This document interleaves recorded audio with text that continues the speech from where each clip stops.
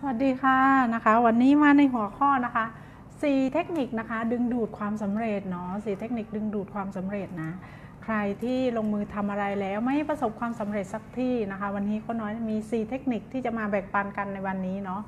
นะเดี๋ยวมาฟังกัน ขออนุญาตเช็คเสียงตัวเองก่อนนะคะ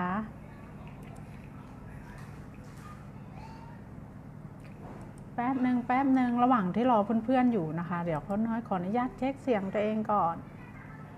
เนาะใครที่ลงมือทำอะไรแล้วนะ ไม่สมไม่ประสบความสำเร็จนะทำอะไรก็ล้มเหลวทำอะไรก็ไม่เป็นชิ้นเป็นอันนะคะ เกิดจากอะไรนะถ้าคุณทำสี่เทคนิคนี้แล้วนะคนน้อยว่าคุณต้องสำเร็จแน่นอนเลยนะ เดี๋ยวมาฟังกันนะคะว่ามันคืออะไร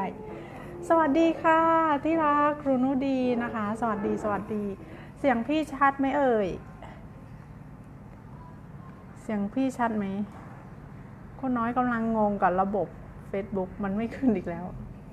ชัดไหมคะ สวัสดีโค้น้อย สวัสดีเช่นกันค่ะนะคะฝากกดไลค์กดแชร์ให้โค้น้อยด้วยนะคะ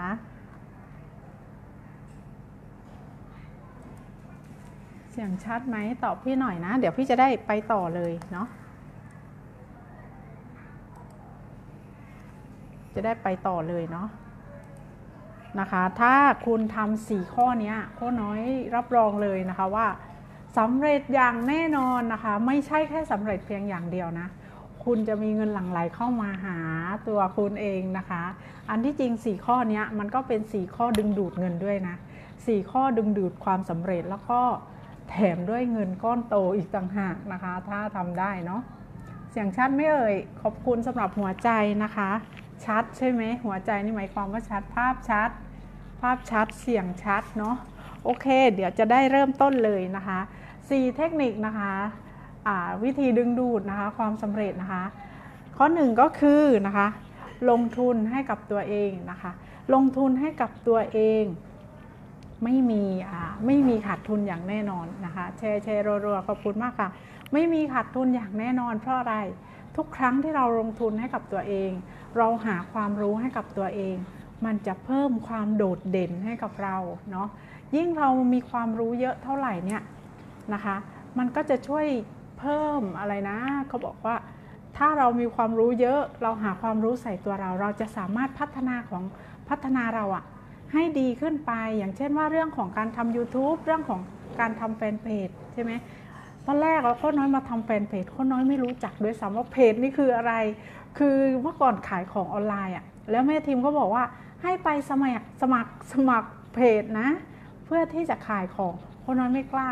เพราะว่าคิดว่าถ้าทำเพจก็คือต้องเสียตังค์อย่างแน่นอนอะไรแบบนี้นะ พอได้มาเรียนรู้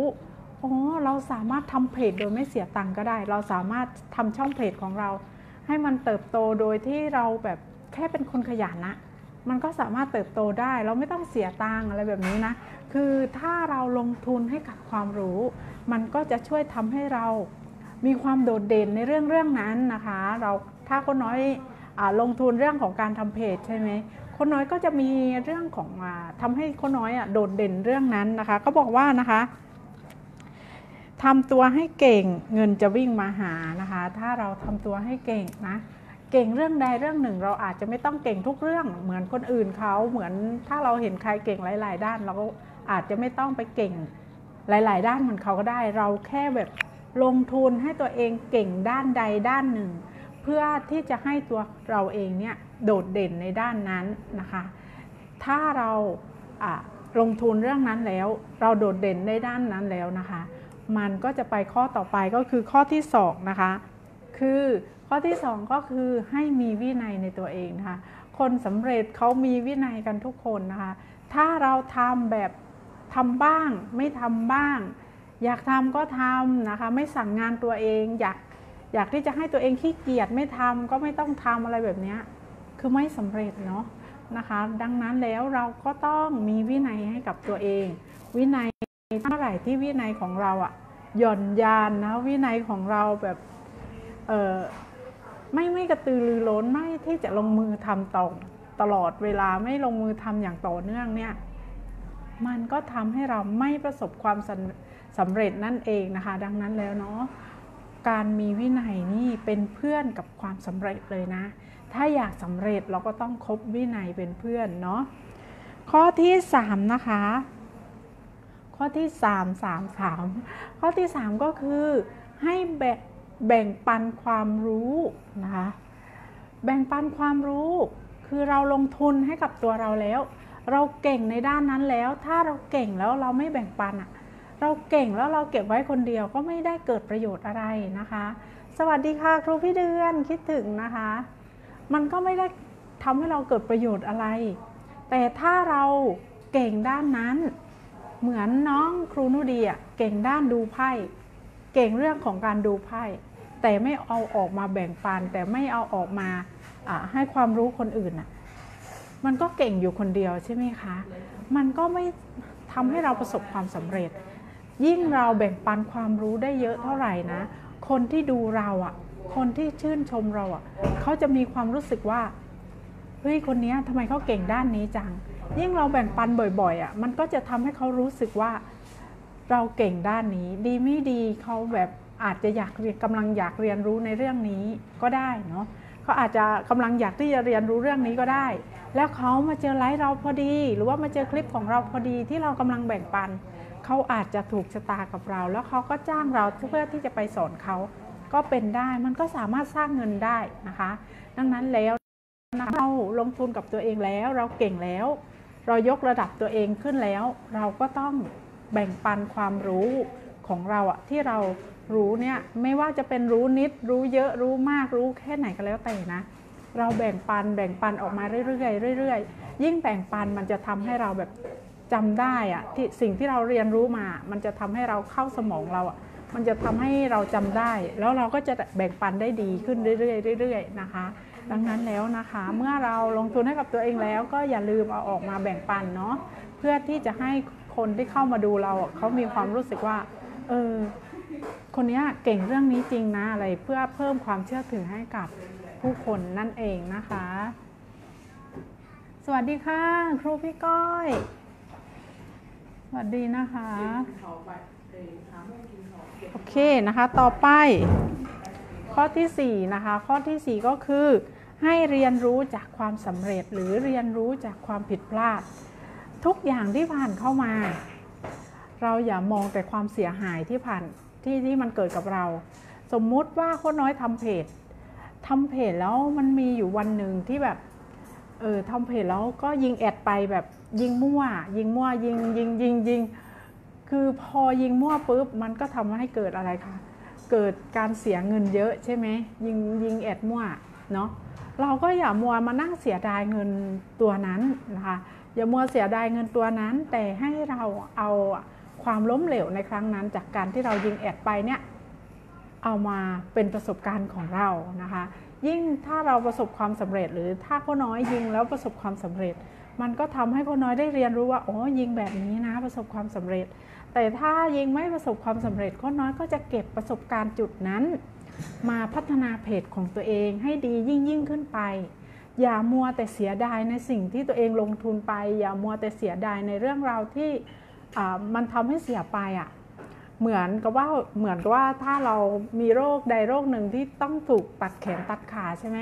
ถ้าเรามัวนั่งแต่เสียดายแขนเสียดายขา มันก็ไม่ได้เกิดอะไรขึ้นมาใช่ไหมยิ่งมันจะทำให้เราจิตตก มันยิ่งจะทำให้เราไม่อยากที่จะต่อสู้ชีวิตเนาะแต่เราสามารถมองได้ว่าเราไม่มีแขนไม่มีขา เราสามารถจะใช้ชีวิตต่อได้ยังไงเนาะให้มอง ให้มองบวกเข้าไว้นะคะ ก็คือข้อ4นะคะก็คือเรียนรู้จากความสำเร็จนะและความล้มเหลวนั่นเองนะคะ สวัสดีทุกคนนะคะ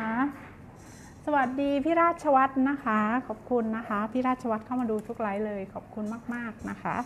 ก็นะคะเดี๋ยวขออนุญาตทวนนะคะ 4 เทคนิคนะถ้าใช้แล้วคนน้อยรับรองเลยนะคะ ว่าประสบความสำเร็จอย่างแน่นอนนะคะ ก็คือข้อ 1 ก็คือ ให้ลงทุนกับตัวเองเนาะเพื่อเพิ่ม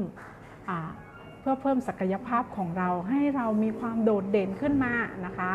และเพิ่มความโดดเด่นมากยิ่งขึ้นก็คือข้อ2นะคะให้มีวินัยกับตัวเองเนาะเมื่อเราเรียนรู้มาแล้ว แต่เราไม่เอาความรู้จุดนี้มาทำอย่างต่อเนื่อง เรียนมาก็เรียนเฉยๆกก็เรียนมาประดับความรู้เฉยๆแต่ไม่ยอมที่จะมาลงมือทำเนี่ย มันก็ไม่เกิดประโยชน์อะไร ดังนั้นเมื่อเราเรียนแล้วเราก็ต้องลงมือทำทำเฉยๆไม่ได้นะ ต้องทำแบบมีวินัยด้วยนะคะ เพื่อที่จะให้ตัวเองประสบความสำเร็จเนาะข้อที่ 3 ก็คือแบ่งปันความรู้ เมื่อมีความรู้แล้วเราก็แบ่งปันเนาะหรือถ้าเราแบบไม่ได้ออกมาสร้างตัวตน เราสามารถแบ่งปันความรู้เวลาที่เราทำงานแบบนี้เราก็สามารถแบ่งปันความรู้ให้กับเพื่อนๆได้เนาะ ก็เมื่อมีความรู้มาแล้ว ยิ่งเราแบ่งปันเนี่ยมันก็จะทำให้เรามีความโดดเด่นขึ้นมา มันจะทำให้คนที่อยู่กับเรา คนที่ได้ดูเรา เขามีความรู้สึกว่าเราเก่งจริง เรารู้จริงนะคะ ก็สร้างความเชื่อถือให้กับเขาได้เนาะยิ่งเราทำบ่อยๆทำปี 2 ปี 3 ปีเนี่ยมันก็จะทำให้เราเก่งขึ้นพอเราเก่งขึ้นอะมันก็ทำให้คนที่ เคยดูเราตั้งแต่เมื่อปีที่แล้วเขาก็มีความรู้สึกไว้วางใจเราเขามีความรู้สึกว่า เอออยากที่จะให้เราช่วยเขาในเรื่องใดเรื่องหนึ่งเขาก็อาจจะจ้างเรา หรือถ้าเราเปิดคอร์สสามารถทำให้เราขายคอร์สได้นั่นเองนะคะ ยิ่งแบ่งปันเท่าไหร่เนาะยิ่งเราแบ่งปันได้มากเท่าไหร่อะเงินมันก็จะหลั่งไหลเข้ามาหาเราได้มากเท่านั้นนั่นเองนะคะ ข้อที่ 4 ก็คือ ให้เรียนรู้จากความสำเร็จ และก็เรียนรู้จากความล้มเหลวเนาะอย่ามัวมองแต่สิ่งที่เสียหายไป อย่ามัวมองแต่เงินที่เราลงทุนไป บางคนอาจจะบอกว่าเรียนแล้วไม่ได้อะไรลงทุนไปก็เท่านั้นไม่ได้อะไรเลย ถ้าเรามัวแต่เสียจุดที่เราเสียไปเนี่ยแต่เราไม่ยอมมาปรับปรุงคือแบบเฮ้ยเราเรียนมาแล้วเราสามารถที่จะทำให้ตัวเราแบบดีขึ้นได้ยังไงนะบางคนเรียนมาเยอะแต่ไม่ไปถึงไหน คือไม่ต้องไปโทษครูนะ คือไม่ต้องไปโทษครูมันอยู่ที่ตัวเราว่า เราลงมือทำมันหรือเปล่าเนาะก็ฝากไว้นะคะสำหรับ 4 เทคนิคในวันนี้นะคะ ถ้าใคร อยากประสบความสำเร็จเนาะก็ลองนำ4เทคนิคนี้ไปปรับใช้กับชีวิตประจำวัน หรือว่าปรับใช้ในเรื่องราวที่ตัวเองกำลังทำค้างคาไว้ หรือว่าความฝันที่กำลังทำไว้นั่นเองนะคะ ก็ขอบคุณนะคะ ขอบคุณครูนุดี ขอบคุณ ครูพี่ก้อยนะคะ ขอบคุณพี่ราชวัตรขอบคุณครูพี่เดือน ครูพี่เดือนคือเดี๋ยวนี้แบบเป็นสาวแบบสาวเก๋อะชอบนะคะ แล้วก็หุ่นดีขึ้นทุกวันนะคะ คิดถึงนะคะโอเคนะคะ แล้วก็ขอบคุณคนที่เข้ามาดูย้อนหลังด้วยเนาะขอบคุณทุกไลค์ทุกแชร์นะคะ คิดถึงทุกคนเลย ยังไม่ค่อยเข้าใจคำว่ายิงแอด ยิงแอดก็คือ